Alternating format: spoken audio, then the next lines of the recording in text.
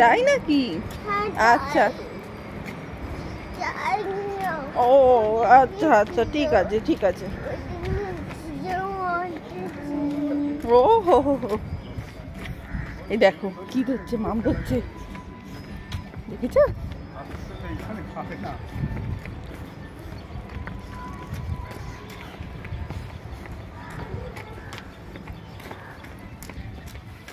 এই দেখো বেবি ড্যাগগুলো কীভাবে শুয়ে আছে, দেখেছ? এই চুট্টু!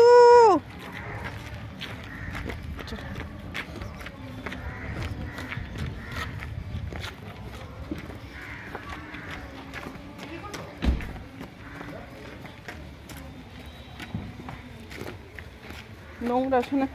এই যে ডোডোর এদিক থেকে ঢুকে পড়ো। এদিক থেকে নোংরা।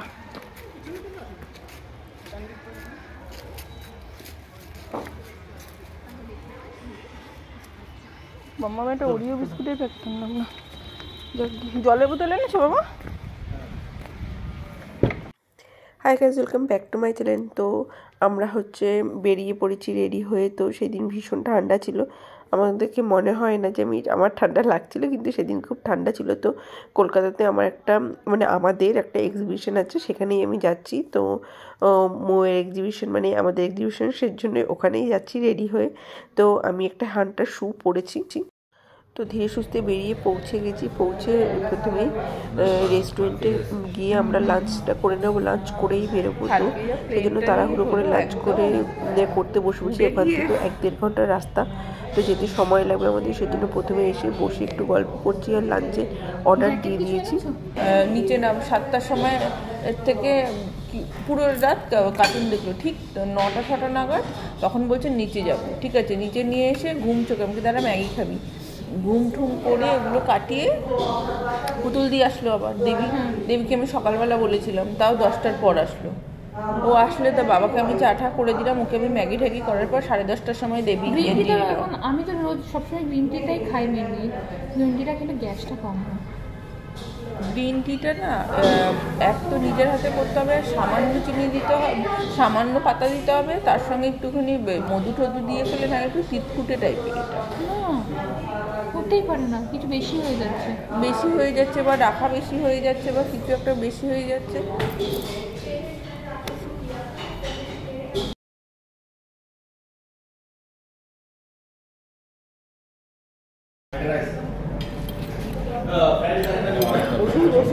ও সার্ভ করে দিচ্ছে। তুমি পারবে নিতে? আমি সার্ভ করে দিচ্ছি তোমার। এখন।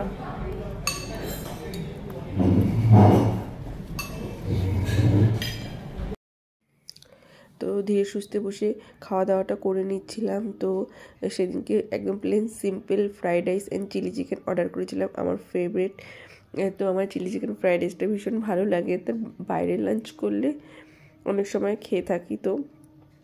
মোটামুটি তাড়াহুড়ো করেই খাচ্ছিলাম যে খেয়ে দিয়ে আমাদের ওখানে পৌঁছতে হবে তিনটের মধ্যে। কিন্তু যেই সময়টা হয়ে গেছিল মানে তিনটের মধ্যে ওখানে পৌঁছতে পারব না, যেতে আরও এক দেড় ঘণ্টা সময় লাগবে। তো ফার্স্ট গিয়ে একটুখানি দাঁড়িয়ে গল্প টল্প করে আমরা শুরু করে দিয়েছি খাওয়া। গাড়ি থেকে আমার সোয়েটারটা নিয়ে নেব তোমার ব্যাগে রেখে দেবো।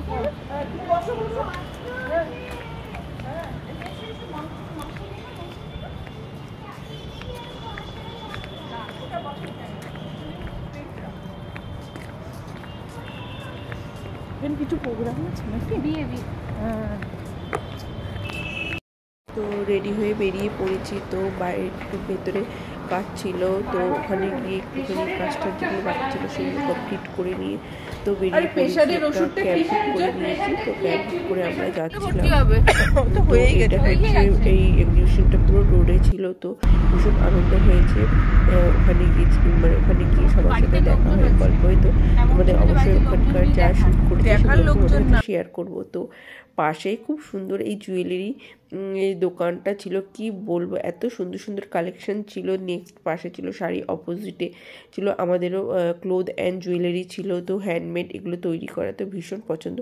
তো ওখানে দাঁড়িয়ে কিছু ফটোশ্যুট করে নিচ্ছিলাম। কিছু উইন্টার জ্যাকেট ছিল। সেই জ্যাকেটগুলো খুব সুন্দরভাবে কিছু ফটো তুলে নিচ্ছিলাম। মাঝে মাঝে স্টলে একটু বস- বসে ভেতরে বসছিলাম। তো সবাই কাস্টমার আসছিল। তো তাদের সব প্রোডাক্ট দেখাচ্ছিলাম। আর বলছিলাম যে কি কি আমাদের আছে বা কী কী ব্র্যান্ড আমরা নিয়ে এসেছি যেগুলো তৈরি হয়েছে তো। আর এখানে খুব সুন্দর সুন্দর সিলভারের কিছু জুয়েলারি গ্র্যাপ করেছিলাম সেগুলো ওর সম্বন্ধে বলছিলাম। তো খুব সুন্দর সুন্দর রিং নেক পিস ব্যাঙ্গলস সব ছিল বেল্ট ঠান্ডা লাগছে। আমার তো খুব তুমি যে বললে আসবে না? চলো দাঁড়িয়ে বললে কেন? তুমি এই দিক থেকে ঘুরে দিচ্ছি হ্যাঁ এই দিক ঠিক না সবার স্টলের সামনে দাঁড়িয়েছিলাম বাইরে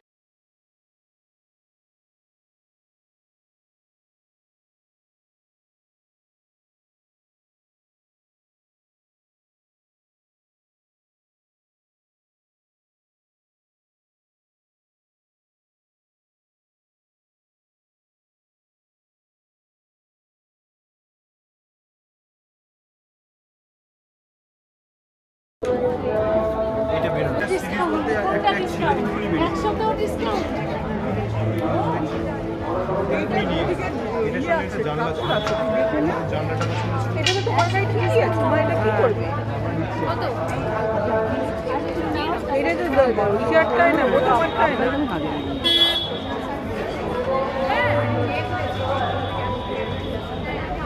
অনেকটা করে বাড়িয়ে দেবো আমি আমি বাড়িয়ে দেবো হ্যাঁ,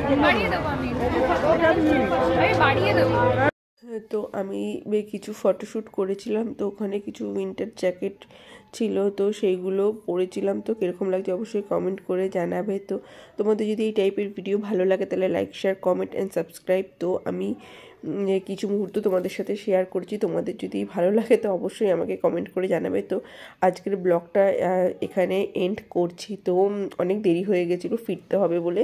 তারপর আর হয়ে ওঠেনি সামাজে একটুখানি এদিক ওদিক ঘুরে ঘুরে তারপর আমরা বাড়ির থেকে রওনা হচ্ছিলাম মানে হয়েছি।